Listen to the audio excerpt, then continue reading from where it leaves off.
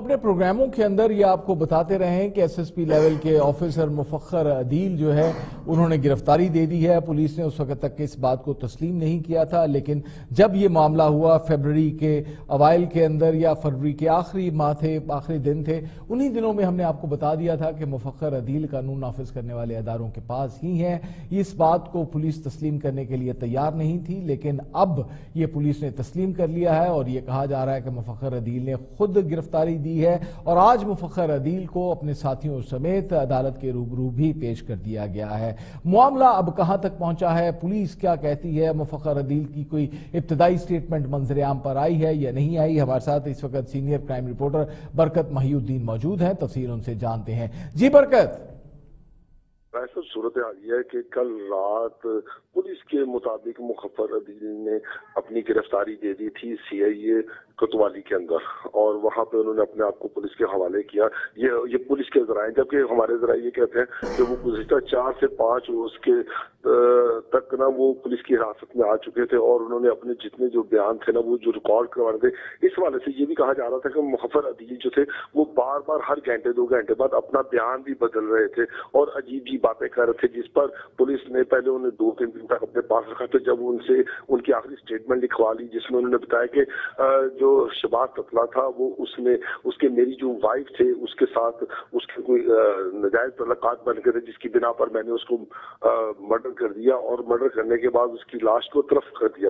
اچھا رائے صاحب، اس میں جو سب سے اہم بات تھی وہ یہ تھی کہ شباز اطلاع اور جو محفر عدیل تھا، یہ نارووال کے رہائشی تھے اور انہوں نے نارووال کالج سے ہی ان کی فرسٹ ایئر سے ہی دوستی شروع ہوئی اور پھر وہ وہاں سے نکل کے جب Lahore G C university university میں آئے تو یہاں پہ مخفر عدیل نے سب سے پہلے جو ان ان کی مشترکہ کلاس فیلو دوست تھی، اس کے ساتھ شادی کی۔ اس کے بعد پھر انہوں نے یہاں پہ کلمہ چوک کے پاس ایک اکیڈمی بنائی جس میں یہ ٹاپر سی ایس ایس کے جو لوگ بچے تھے، ان کو ٹریننگ کرواتے تھے۔ تو وہاں بھی انہوں نے مخفر عدیل نے دو وہاں کی اسٹوڈنٹ کے ساتھ شادی کی۔ یہ ان کا ایک معاملہ چلا آ رہا تھا۔ اس حوالے سے جب ہم نے اس کی تحقیقات کی تو ہمیں پتا چلا کہ شباز اطلاع نے کچھ عرصہ قبل ہی نارووال کے اندر سات ایکڑ کے قریب جگہ خریدی تھی، جو وہ اب پچھلے دو ماہ سے اس کو فروخت کرنا چاہ رہے تھے اور بیچنا چاہ رہے تھے۔ کسی بھی حال میں وہ چاہتے تھے کہ وہ اس جگہ کو فروخت کر دے۔ اس حوالے سے بھی یہ باتیں سامنے ہیں۔ دوسری طرف اسد بھٹی کی اور شباز تطلے کی ایک لڑائی بھی سامنے آئی ہے، جو تقریباً چار ماہ قبل ہوئی تھی، جس میں شباز تطلہ کا اسد بھٹی نے سر بھی پھاڑ دیا تھا۔ یہ ساری باتیں جو تھی یہ دوران انویسٹیگیشن جب ہم اس کے بارے میں جب سات فروری کو جب شباز اطلاع لاپتا ہوا ہے جس کے بارے میں لوگ کہہ رہے ہیں کہ وہ اس کو قتل کر دیا گیا یا وہ مغوی ہے ابھی تک اس کی لاش کیونکہ برامد نہیں ہو سکی اس حوالے سے بھی کچھ بھی نہیں کہا جا سکتا کہ شباز اطلاع مر چکا ہے کہ نہیں جبکہ اچھا برکت محی الدین یہ بتائیے کہ شہباز تطلع اور مفخر عدیل بڑے درمیانی درجے کے گھرانوں کے ساتھ تعلق رکھتے ہیں۔ کیا پولیس ان لائنز کے اوپر بھی کام کر رہی ہے کہ یہ راتوں رات یا چند سالوں کے اندر ارب پتی کیسے بن گئے؟ اب ان کے اساسوں کی اگر مالیت دیکھی جائے تو میرے ذرائع یہ بتاتے ہیں کہ یہ تمام تر دوست جو ایک مڈل کلاس بیک گراؤنڈ سے تعلق رکھتے تھے، آج ارب پتی بن گئے ہیں۔ جی جی۔ بالکل بالکل، رائے صاحب، آپ کی بات بالکل ٹھیک ہے کہ اس حوالے سے جب یہ کیس سامنے آیا نا سات فروری کے بعد، تو قانون نافذ کرنے والے ادارے اس بات پہ انہوں نے پنجاب کے اعلیٰ پولیس افسران سے ڈسکس کیا کہ یہ ان کی اتنی زیادہ پراپرٹی کہاں سے بنی؟ اس کے بارے میں جب سامنے تحقیقات کی پولیس نے تو یہ باتیں بھی سامنے آئی کہ یہ ان کی ڈانس پارٹیاں اور آئس کی سمنگنی کے حوالے سے بھی بڑی باتیں سامنے آئی ہیں۔ اور اس حوالے سے آج جو سب سے اہم بات ہمیں آج پتہ چلی ہوئی ہے شباز اطلاع کے خلاف منی لانڈری کا بھی یہ کیس چل رہا تھا۔ وہ جب ہم یہ بات کرتے ہیں نا تو جی جی۔ اچھا برکت محدین کچھ اطلاعات ایسی بھی ہیں جو مصدقہ نہیں ہے تاحال لیکن کچھ ذرائع یہ بھی کہتے ہیں کہ شہباز تطلع کے غالباً بیرون ملک بھی کچھ مراسم تھے، کچھ تعلقات تھے، جس کے اوپر پاکستان کے قانون نافذ کرنے والے ادارے اور محب وطن ادارے کافی زیادہ تشویش کا شکار تھے۔ جی بالکل۔ جی رائے صاحب، یہ اس طرح کی باتیں ہمارے معاشرے میں بہت عام کی جا رہی تھی اور یہ بھی اس بارے میں لوگ کہہ رہے تھے کہ شباز اطلاع کی ناروال کے حوالے سے جتنی بھی چیزیں سامنے آ رہی تھی نا، وہ یہی آ رہی تھی کہ ان کے ان کے پاس اتنی زیادہ پراپرٹیز اور اتنے زیادہ پیسے کہاں سے آئے؟ کیونکہ یہ دونوں وہ لوگ تھے جن کے ماں باپ ان کے پیچھے کچھ نہیں تھے۔ حالانکہ محفر عدیل کے جو والد ہیں، وہ کامرس کالج نالوال کے پرنسپل رہے ہیں اور اس وقت وہ اپنے بیٹے کے پاس سعودی عرب میں مفسر عدیل کے پاس وہاں رہائش پذیر ہے، جس کی وجہ سے اب ہمارے یہاں پہ یہ بھی باتیں بڑی ہو رہی تھی کہ انہوں نے اس کے والد کو پکڑ لیا، اس کے بھائی کو پکڑ لیا۔ حالانکہ وہ پاکستان میں نہیں ہے، وہ تو سعودی عرب میں ہے۔ ایسی کوئی بات نہیں تھی۔ یہ ایک پری پلان تھا۔ یعنی کہ آپ کا کہنا یہ ہے کہ جو یہ خبریں چل رہی تھی کہ مفخر کے بھائیوں کو پکڑ لیا یا ان کے گھر والوں کو گرفتار کر لیا، اس لیے مجبور ہو کر مفخر نے گرفتاری دی ہے، یہ اس بات میں کوئی صداقت نہیں ہے۔ مفخر عدیل از خود پولیس کے روبرو پیش ہوئے ہیں یا پھر پہلے سے ہی قانون نافذ کرنے والے اداروں کے پاس موجود تھے؟ جی جی وہ وہ یہی تو بات ہے رائے صاحب کہ محفر عدیل ایک پری پلانڈ واپس آئے ہیں وہ اس طرح کی کوئی بات نہیں ہے اس میں کہ ہم یہ کہیں کہ ان کے والد کو پکڑ لائے پھر ان کے بھائی کو پکڑ لائے۔ بھائی وہ ان کے والد کی طبیعت بہت زیادہ خراب ہے اور وہ سعودی عرب میں مقیم ہے وہ پاکستان میں نہیں ہے۔ وہ اپنے بیٹے مفسر عدیل کے پاس سعودی اچھا برکت آپ نے مفخر عدیل کو پہلے بھی دیکھا ہے اور آج مفخر عدیل جب عدالت کے روبرو پیش ہوئے آپ تب بھی وہاں جی۔ پر موجود تھے۔ ان کے حلیے کے اندر ان کی باڈی لینگویج کے اندر کوئی تبدیلی نظر آتی ہے، کوئی بالوں کا سٹائل، کوئی شیف بڑی ہو، کیا کوئی ہولیا بدلنے کی کوشش کی گئی ہے؟ جی نہیں وہ پہلے تو وہ اس میں کلین شیپ تھے لیکن اب کیونکہ جب وہ منظر عام پر آئے ہیں تو ان کی خاصی داڑھی جو ہے وہ بڑھی ہے۔ اور ایک برائے صاحب اس میں بڑی بات ہے خود کے داڑھی کا بڑھ جانا۔ مطلب وہ شیو نے کی ایک بندے کی داڑھی بڑھی ہے اور اس نے خط کروایا ہوا ہے۔ اس کا مطلب ہے کہ وہ کلیئر بات ہے کہ اس نے داڑھی رکھی ہے۔ وہ بڑی داڑھی نہیں ہے وہ۔ خط اگر انہوں نے رکھا ہے تو اس کا مطلب یہ ہے کہ وہ کہیں سیف ہینڈز کے اندر تھے۔ جی۔ جیسے مفرور عمومی طور کے اوپر اپنی زندگی گزار گزارتے ہیں یا بھاگ دوڑ کے اندر ہوتے ہیں، ان کے ساتھ ایسا کوئی معاملہ نہیں تھا۔ ہی must be in safe hands جی جی جی۔ اور ہمارے پنجاب پولیس کے اعلیٰ افسران جب یہ ان کی وہ منشیات کی سمنگ کے والے سے بات آئی تھی نا تو وہ چاہتے تھے کہ یہ جو مافیا جو گینگ ہے جو ڈانس پارٹی کرواتا ہے اور منشیات کی سپلائی کر رہا ہے یہ منظر عام پہ آنا چاہیے تاکہ جو منشیات کا کاروبار ہے وہ اس کو اس کا کلا کما کیا جا سکے۔ لیکن آپ منشیات کے اوپر فوکس کیے ہوئے ہیں برکت محی الدین نے کچھ منی لانڈرنگ کے حوالے سے کچھ ہمسایہ ممالک کے ساتھ تعلقات کے حوالے سے بھی انویسٹیگیٹ کیا ہے۔ آپ نے آپ بھی ٹپ دے کر تو پھر نکل گئے ہیں اس بات کے اوپر کہ جی ہاں منی لانڈرنگ کے بھی ان کے اوپر الزامات ہیں اور پھر ہمسایہ ممالک کے ساتھ تعلقات کی بات کر کے نکل سے گئے ہیں۔ کچھ تفصیل ہے تو بیان کر دیجیے۔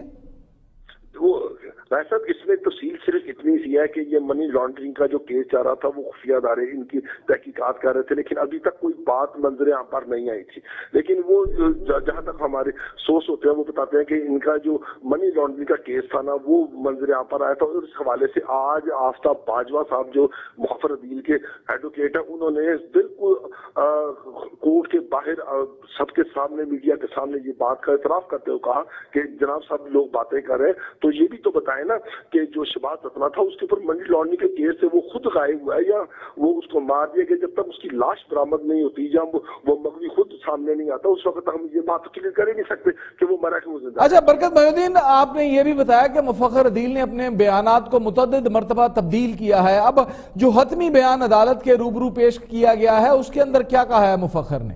جی بارے میں یہ کہا گیا ہے پولیس سورس کہتے ہیں کہ اس نے کہا ہے کہ اس نے میری جو دوسری بیوی تھی اس کے ساتھ زیادتی کرنے کی کوشش کی جس کی وجہ سے میں نے غیرت میں آ کر اس کو قتل کیا اور پھر اس کی لاش کو تلف کر دیا۔ قتل کو انہوں نے تسلیم کر لیا ہے۔ بہت بہت شکریہ برکت محی الدین خواجہ محسن صاحب ایک جانب ملزم اس بات کو پولیس کسٹڈی کے اندر تسلیم کرتا ہے اور پھر وہ بیان عدالت کے روبرو بھی جمع کروا دیا جاتا ہے جس کے اندر وہ اقرار کرتا ہے قتل کا۔ اس کے اندر غیرت ہے اس کے اندر بغیرتی ہے اس کے اندر واٹ ہے وہ جو کچھ بھی ہے۔ معاملات ان کو ہم پسے پشت ڈالتے ہوئے اس بات کے اوپر فوکس کرتے ہیں کہ مفخر عدیل نے اقبال جرم کر لیا ہے۔ لیکن دوسری جانب ان کے وکیل باہر جا کر کہتے ہیں، ابھی تو شہباز تطلع کی لاش ہی نہیں ملی، ان کے موکل کے اوپر تین سو دو کا پرچہ نہیں کاٹا جا سکتا۔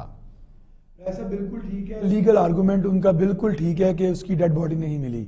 دیکھیں، آپ اس کی وہ بورا ایکسپرٹ کرمنل ہے، جسے، جس جو ایکس ایس ایس پی ہے۔ آپ دیکھیں کہ قانون میں جب تک لاش نہ ملے، تین سو دو کا کیس نہیں درج ہو سکتا۔ اس سے پہلے تین سو پینسٹھ ہی چلتی ہے کسی کی اغوا کی، جب تک ڈیڈ باڈی نہ ملے، تین سو دو اس ایف آئی آر میں نہیں آتی۔ اب آپ جو کہتے ہیں نا، اقبال جرم۔ اس نے اقبال جرم کیا ہے ون سکسٹی ون کے تحت پولیس کے روبرو۔ اس سٹیٹمنٹ کی نارملی عدالت میں کوئی ویلیو نہیں ہوتی۔ وہ پولیس کی فائل ہے کہ اس نے ایک بال جرم کر لیا اور اس بال جرم کے بیاب پہ پولیس نے چلان فائل کر کے عدالت کے آگے پیش کر دیا۔ ابھی تو خیر چلان نہیں فائل ہوا، ابھی تو ریمانڈ لیتے وقت کہا گیا کہ جی جس نے اقرار جرم کر لیا ہے۔ مگر اب جب تک یہ انویسٹیگیشن کے جو جسمانی ریمانڈ لیا گیا، اس میں اس کی وہ باڈی نہیں برامت کر لیتے۔ یا ایسے علاقار جس سے قتل کیا گیا وہ برامد نہیں کر دیتے اور اگر اس کی باڈی نہیں ہے تو اس کے بال یا اس کی کوئی بھی ایسی چیز جس سے ڈی این اے کے تھرو ثابت کیا جا سکے یہ شباز قتلہ ہے۔ تب تک یہ تین سو دو جی خواہ صاحب اس وقت آفتاب باجوہ ایڈوکیٹ ہمارے ساتھ موجود ہیں۔ سپریم کورٹ بار ایسوسیشن کے سابق سیکٹری جنرل بھی ہیں۔ آفتاب باجوہ صاحب welcome to the show Aftab Bajwa صاحب میری آواز پہنچ رہی ہے آپ تک؟ جی جی آ رہی ہے جی آواز آ رہی ہے جی۔ آفتاب باجوہ صاحب آج آپ سابق ایس ایس پی مفخر عدیل کے کیس کے اندر پیش ہوئے۔ آپ کے موکل کے اوپر کیا الزامات عائد کیے گئے ہیں؟ اور آپ کی جانب سے یہ کہا گیا کہ ابھی تو شہباز تطلع کی لاش ہی برامد نہیں ہوئی۔ دیکھیے، آج جو ان پہ الزام لگایا گیا ہے، ان کے جو شباز تطلع کے وکیل ہیں، اس نے عدالت کو بتایا جی اس کو قتل کر دیا گیا ہے۔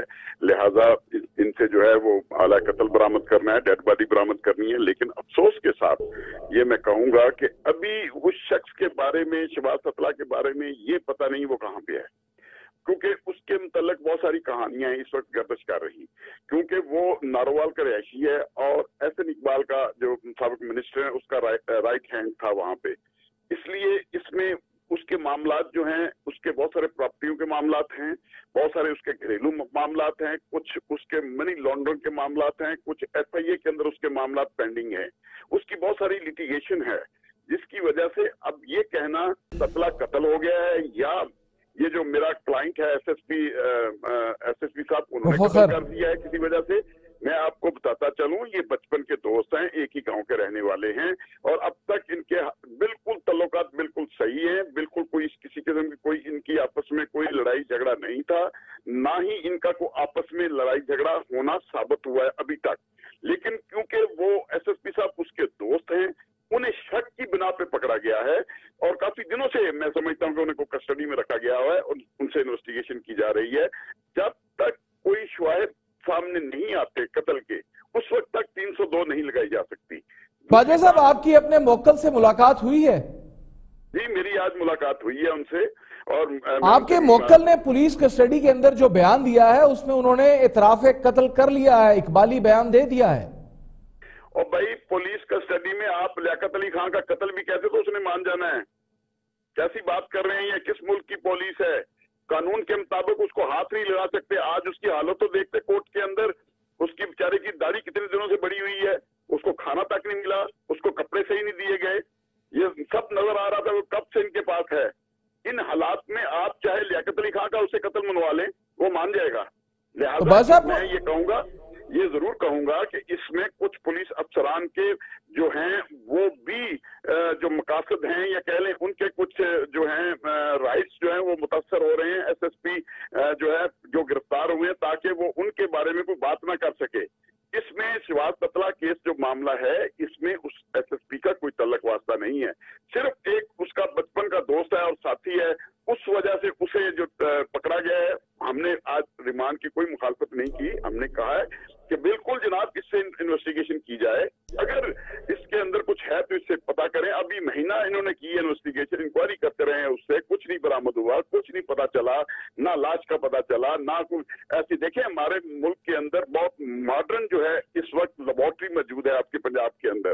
دنیا کی مشہور لیبارٹریوں میں سے ایک لیبارٹری ہے۔ کیا وہ جس مکان کا یہ کہتے ہیں جی مادر ٹاؤن کے اندر اس کو قتل کیا گیا، کیا وہاں پہ دیواروں پہ نشان نہیں تھے؟ انگلیوں کے آ سکتے ہاتھوں کے نشان یا جسم کے نشان نہیں ہوں گے۔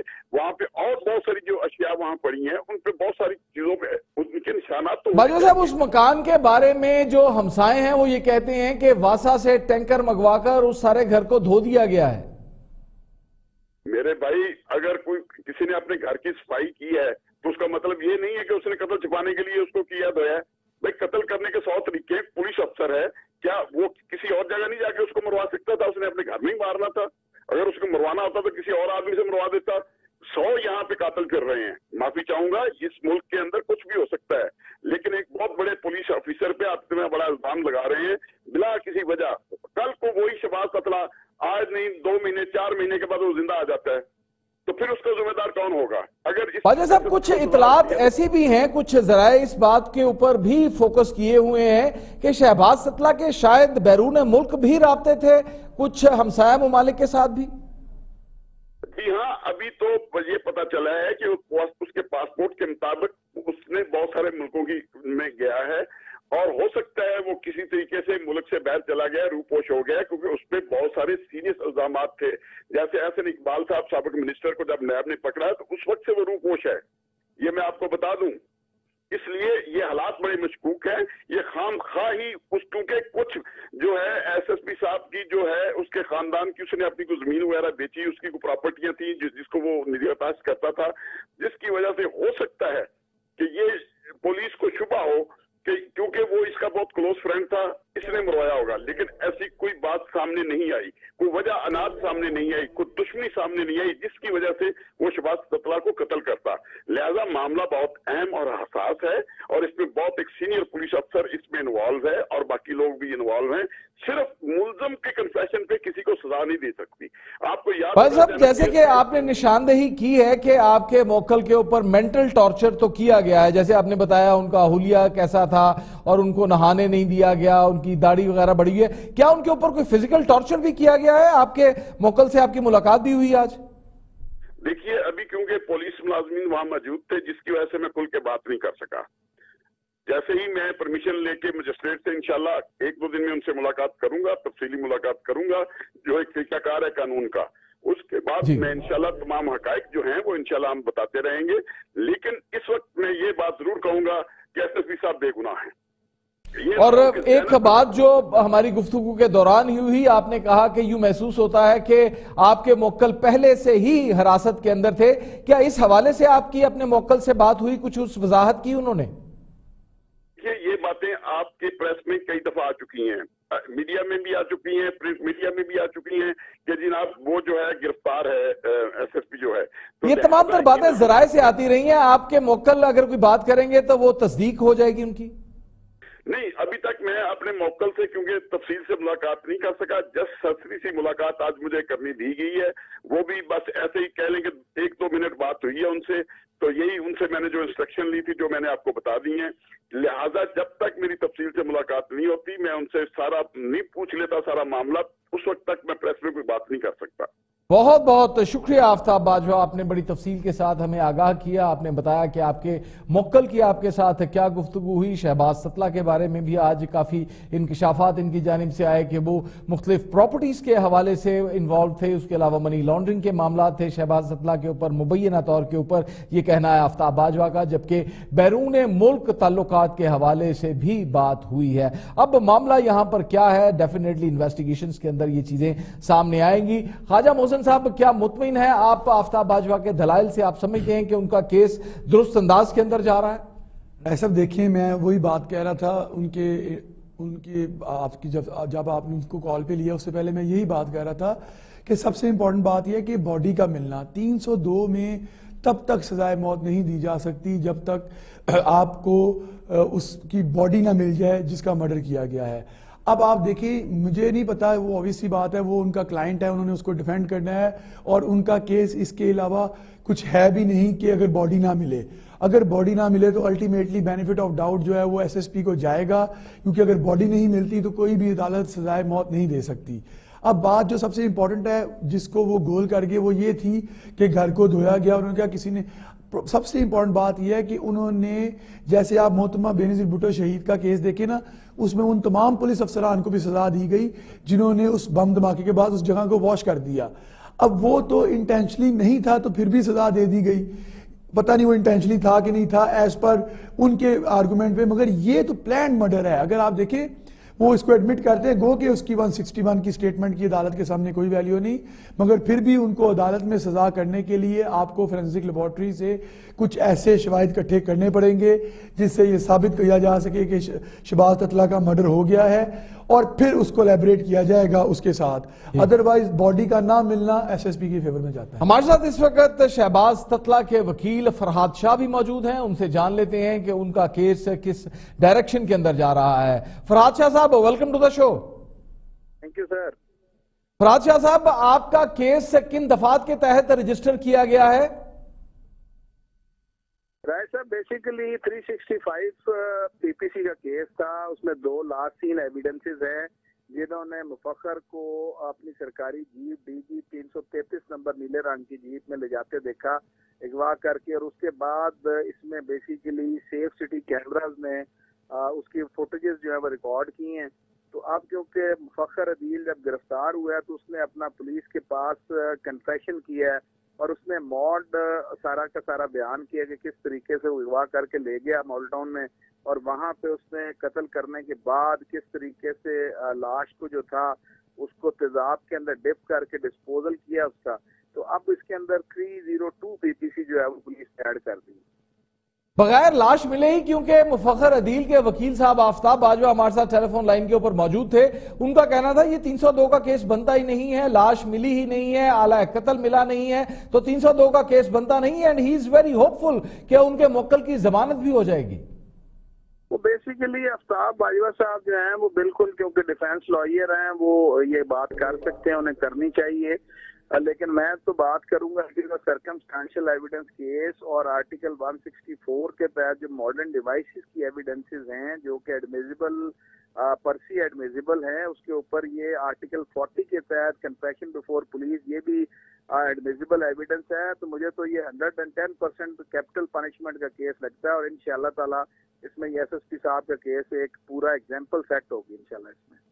فراد شاہ صاحب، الزامات یہ بھی لگائے گئے ہیں کہ آپ کے موکل جو کہ اس وقت دنیا میں موجود نہیں ہیں، بقول آپ کے، ان کے اوپر منی لانڈرنگ کے کیسز بھی تھے۔ ہم سایہ ممالک کے ساتھ ان کے تعلقات کی بات بھی کی جاتی ہے۔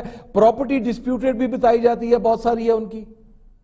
یہ ساری کی ساری باتیں جی افتاب باجوہ صاحب نے وہاں پہ کھڑے کھڑے گھڑنی ہے میرے، میں آئی وٹنس سے ساری بات کا، کیونکہ صبح جب مفخر عدیل کو پیش کیا، عدالت میں تو جائز صاحب نے اس کو کیٹیگریکلی پوچھا کہ آپ کے وکیل صاحب ہیں، تو اس نے کہا کہ نہ میں نے کوئی وکیل کیا، نہ میں نے کرنا ہے۔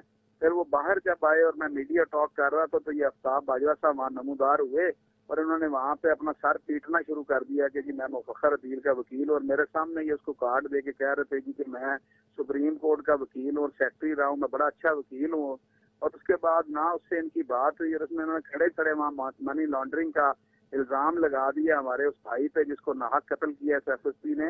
اور میں سمجھتا ہوں کہ اس وقت جو ورثہ ہیں، وہ اس چیز کو بھی دیکھ رہے ہیں کہ یہ بھائیوا صاحب کی طرف سے یہ بیان ان پہ لگایا گیا، ان کے مقتول بھائی پہ وہ دیکھ رہے ہیں، اس کو بھی لیگلی واچ کر رہے ہیں کہ اس کے اوپر بھی کاروائی وہ کرنا چاہتے ہیں کہ اندر وٹ سرکمسٹانسز اور وہ کون سا مٹیریل ہے کہ جس پہ بھائیو صاحب نے یہ میڈیا پہ منی لانڈرنگ کا الزام لگا دیا۔ بہت بہت شکریہ افراد شاہ صاحب، آپ کا دونوں پارٹی کے وکلا جو ہے ان کا موقف آپ کے سامنے آ چکا ہے۔ میں چاہوں گا کہ خواجہ محسن ہمارے ساتھ موجود ہیں، ایک نیوٹرل وکیل ہیں۔ خواجہ صاحب، اگر آپ تیس سیکنڈز کے اندر یہ ساری بحث کو کمپائل کر سکیں، ہمیں بتا سکیں کہ کس کے دلائل کے اندر اندر زیادہ وزن ہے اور جیسا کہ فرحاد شاہ صاحب کا یہ الزام تھا، یہ کہنا تھا کہ وہ مفخر کے وکیل ہی نہیں ہیں، انہوں نے وکالت نامہ سائن نہیں کیا۔ تو کیا ایسا ممکن ہے کہ بغیر وکالت نامہ سائن کیے، بغیر رضامندی کے آپ کسی کے وکیل بن جائیں؟ ایسا بڑا سیریس ایلیگیشن ہے اور دیکھیں میں اس وقت وہاں موجود نہیں تھا۔ اگر فراز شاہ صاحب یہ بات کہہ رہے ہیں تو وہ اتھینٹک بات ہی کر سکتے ہیں کیونکہ وہ میں سمجھتا ہوں بڑے پروفیشنل لائر ہیں وہ کسی پہ اتنا بڑا الزام نہیں لگا سکتے کیونکہ انہوں نے پوری ایک سٹوری بتائی ہے۔ آفتاب باجوہ صاحب بھی ایک سینئر وکیل ہیں اور ایک ریپیوٹڈ وکیل ہیں۔ بالکل سپریم کورٹ بار کے ایکس سیکٹری بھی رہے ہیں اس لیے میں اس ایلیگیشنز کا تو وہ دونوں بہتر جواب دے سکتے ہیں۔ مگر بات یہ ہے کہ جو شاہ صاحب بات کر رہے ہیں وہ بالکل ٹھیک ہے ایڈوانس ٹیکنالوجی کو یوز کیا جانا اور ان کو الیبریٹ کر کے سزا دی جا سکتی ہے۔ انہوں نے ساتھ ایک لفظ یہ بھی ایڈ کیا کہ اگزامپل سیٹ ہوگی۔ تو میں سمجھتا ہوں کہ اگزامپل سیٹ ہونی چاہیے کیونکہ ایسے قاتل جی۔ کو اس طرح بڑی نہیں ہو جانا چاہیے مگر جو آج تک کی منشا ہے اس میں اگر ڈیڈ باڈی نہ ملے تو سزا بہت مشکل ہوتی ہے آپ نے وکلا کے موقف بھی سنے، خواجہ محسن کا پوائنٹ بھی آپ کے سامنے آ چکا ہے۔ اب دیکھنا یہ ہے کہ جو شواہد موجود ہیں، ان شواہد کی روشنی کے اندر کیا سزا دی جاتی ہے؟ کیا منی لانڈرنگ بیرون ملک ذرائع، تعلقات اور پراپرٹی ڈسپیوٹڈ کے معاملات کو بھی زیر غور لایا جائے گا یا نہیں لایا جائے گا؟ مفخر عدیل جو بیان پولیس کے سامنے دے چکے ہیں، کیا اس بیان کو وہ تبدیل کریں گے؟ ذرائع یہ بتاتے ہیں کہ ایسا ہی ہوگا۔ مفخر عدیل اپنے بیان کو تبدیل کریں گے اور پولیس کے سامنے دیے ہوئے بیان کی کوئی حیثیت نہیں ہے۔